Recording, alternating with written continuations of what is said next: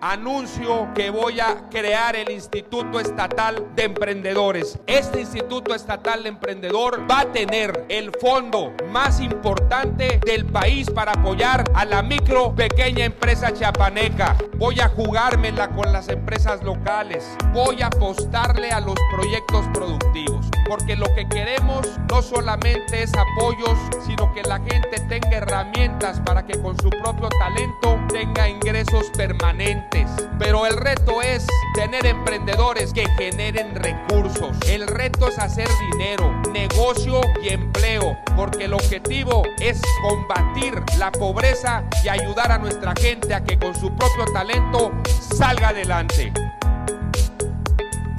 Albores, gobernador.